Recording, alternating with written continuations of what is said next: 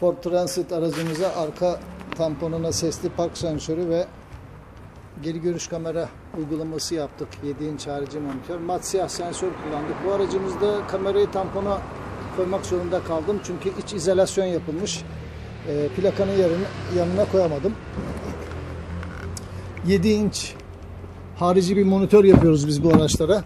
Tavandan bu şekilde buraya adapte ediyoruz. Gayet güzel oluyor. Orijinal gibi.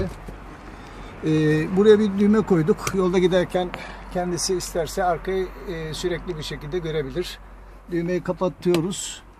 Ee, aracı geriye taktığımda da otomatik olarak kendisi açar kendini. Park sensörü aktif oldu, devreye girdi. Aracı geri geriye açtırıyorum. Sensörde çalıştığını bir görelim şöyle duvara karşı. Evet, sensörümüz bu şekilde çalışmaya başlıyor. 4 kademe sensördür. 30-40 santimde direkt durdurur. Ee, kendini bu şekilde kıyıları köşeleri sensörden gösterebiliyor. Gayet güzel bir uygulama oldu. Ekranımız her açıdan net görüntü verir bize. Gayet şu anki e, görüntüde e, bir gölgelik var. O gölgeliği biraz karanlık gibi veriyor ama gayet güzel oldu. Evet.